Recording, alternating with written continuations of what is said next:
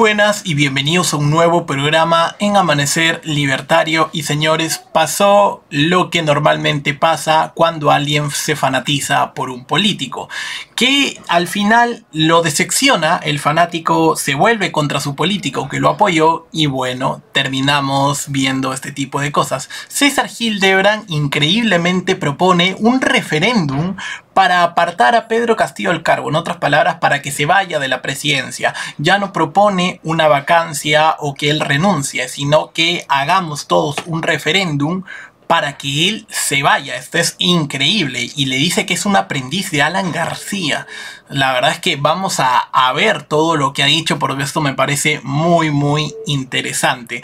Eh, lamentablemente Hildebrand antes de estas elecciones, a, pesar de que a muchas personas no le guste, tenía un respeto, tenía un respeto intelectual enorme porque a mucha gente lo seguía y tal, pero luego de ver su defensa Pedro Castillo, eh, muchos comentarios que no cuadraban, que no iban mucho con la realidad y tal, bueno, cayó descrédito y ahora vamos a ver todo lo que le dijo porque le dijo todas sus verdades a Pedro Castillo y propuso un referéndum que vamos a ver de lo que se trata. Y recuerda también que el día de hoy vamos a estar en la marcha, voy a estar en, el estrado, voy a estar dando una, una charla, eh, unas pequeñas palabras ahí, así que te espero a partir de las 3 de la tarde en el campo de Marte, ahí te espero.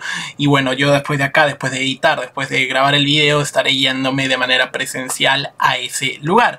Y también recuerda suscribirte y darle like al video para que más personas se enteren de lo que ha hecho César Hildebrand con Pedro Castillo, que me parece algo increíble eh, que muchas personas por supuesto no se van a enterar. Así que dale like para que YouTube recomiende este video compártelo en, tus redes sociales ya sea en Instagram, Facebook, TikTok, etcétera. Y bueno ahí más gente se entera. Y no te olvides que también vas a tener un link a mi Patreon en un comentario fijado en la caja de comentarios. Y también vas a tener un botón que dice unirse al costado del botón de suscripción para que así te puedas unir a la comunidad del canal y obtengas beneficios exclusivos. Y ahora sí señores lo tenemos aquí y tenemos acá el titular.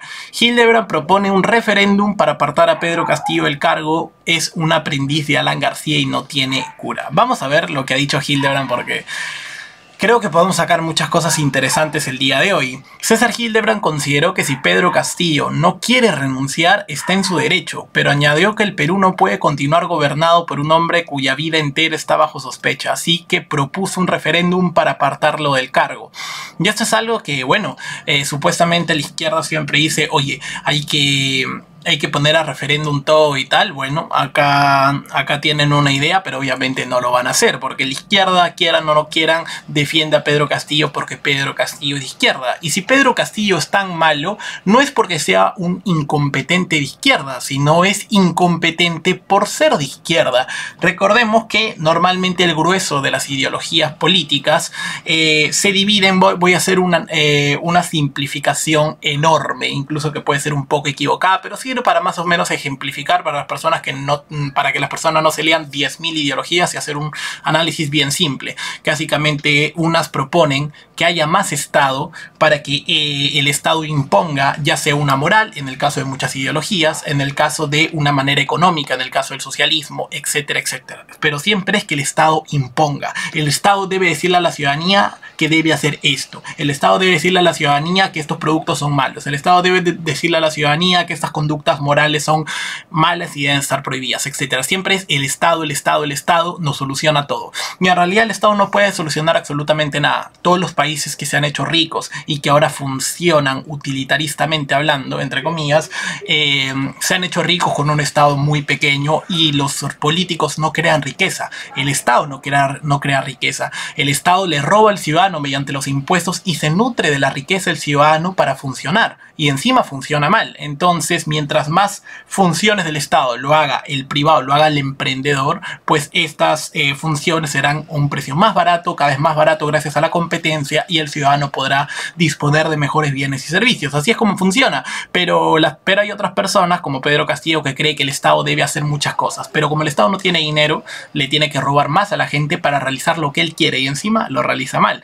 Y vemos acá lo siguiente a través de un artículo titulado Un referéndum para que se vaya, Hildebrand consideró que nadie necesitó contaminar al mandatario con corrupción, sino que este nunca estuvo del todo limpio. Bueno, y acá entramos en otras contradicciones. Si nunca estuvo limpio, ¿por qué lo, tuviste, eh, por qué tuviste que apoyarlo, no?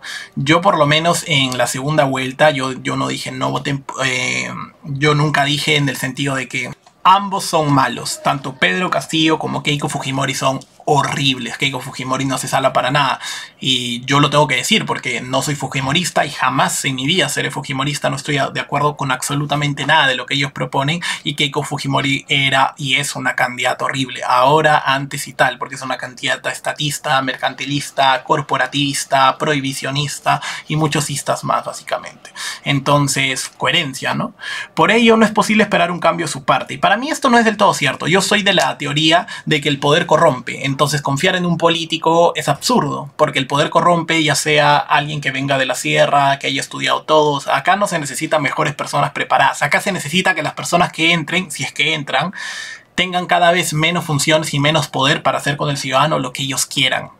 Eso es lo que falta. No necesito una persona más honesta. Puedo tener un ladrón como político, pero si no tiene eh, función alguna, no puede meterle mano a nada, no tiene una caja a la cual meter la mano, entonces no puede robar, así sea el mayor ladrón del mundo. Y al contrario, si vemos, si ponemos una persona honrada, supuestamente honesta y de manera intachable, como hemos tenido muchas personas, y tiene una caja de dinero encima y todos los días ve pasar cajas de dinero por ahí sin que se dé cuenta, incluso porque muchas personas no se dan cuenta, Mm, empieza a aceptar favores, empieza a acostumbrarse al poder y termina pasando lo que termina pasando. Entonces, para mí no es, no es la solución mejores personas. Para mí hay que cambiar el sistema. Yo soy más revolucionario, podríamos decir. No soy tan no soy tan, tan tibio, podríamos decir. Yo voy al origen del problema en, en, lo que es mi opinión como liberal libertario. Dice lo siguiente, no es que la pureza se contaminó, no es que el campesino se manchó en palacio, es que el hombre de Rousseau, casi, casi pariente de Castilla, no existía.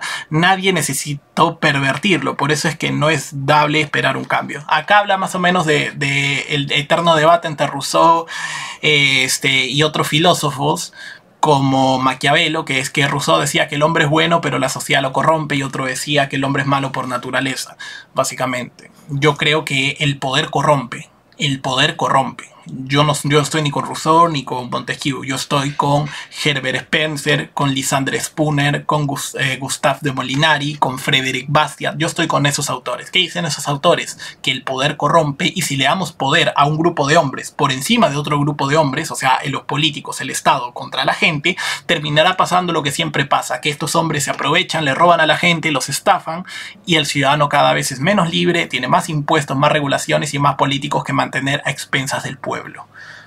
Por eso yo siempre recomiendo este librito, que te lo voy a dejar en la descripción del video, que se llama Nuestro enemigo, el Estado, de Albert Jake Nock, que básicamente te explica cómo surgen los estados, qué es el Estado, qué son los políticos y por qué él considera que el enemigo de cualquier eh, persona es, es, el poder político, son los políticos.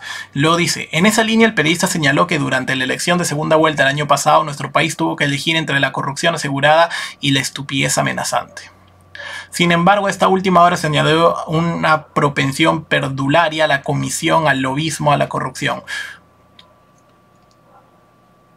Es que, es que estaba, a ver, a ver, es que yo no concuerdo absolutamente nada con este señor. Es que, decir, a ver, cualquiera que leyera el diario de Perú Libre y sabíamos de quién, por quién estaba escrito un señor sentenciado como Vladimir Serrón, sabía que esto iba a pasar si el, si el tipo era dueño del partido y ese tipo estaba sentenciado. ¿Cómo que la corrupción asegurada? Para mí ambos están en la corrupción asegurada, porque ambos quieren que haya Estado y quieren más Estado si ya hemos dicho que el poder corrompe, es que, sea, que no me convence para nada los argumentos de este señor. Lo dice, un maestro rural inexperto tenía remedio es que este señor no se entera que el poder corrompe. Él sigue pensando ingenuamente que hay políticos buenos y hay políticos malos y no entiende que el problema no está tanto en la persona, sino en el sistema. Un aprendiz de Alan García no tiene cura. Un campesino que usa mondadientes después de comer parece y es tierno sujeto de estas tierras. Uno que va con gorra al pasaje zarratea para hablar de negocios sucios no puede prender indulgencia. Por ello, propuso un referéndum. Si el señor Castillo, presidente constitucional, no quiere renunciar, está en su derecho, pero el país no puede continuar bajo el liderazgo inexistente de un hombre cuya vida entera está bajo sospecha. Así, señores, es como termina el artículo de César Gildebrand que destroza a Pedro Castillo sin miramiento alguno, señores. Como digo, yo no estoy de acuerdo con lo que él dice, me parece que diagnostica mal el problema.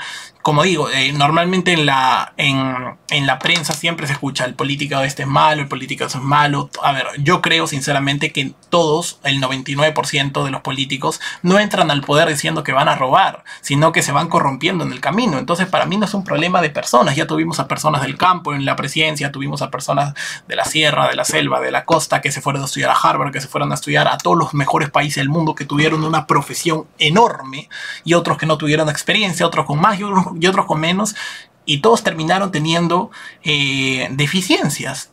terminaron deficiencias. Obviamente no todo se le descubrió actos de corrupción, pero terminaron no cambiando la historia trascendente, no, no, terminaron cambiando la historia, a eso me refiero.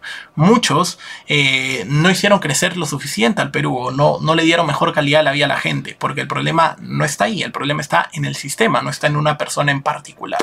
Y ahora sí, muchísimas gracias por haber visto este video, dale like, suscríbete, si te gustó, compártelo déjame tu comentario a ver qué te pareció y nos estamos viendo en el próximo programa. Un saludo y hasta pronto y recuerda, te veo en la marcha en básicamente una hora y media. Saludos.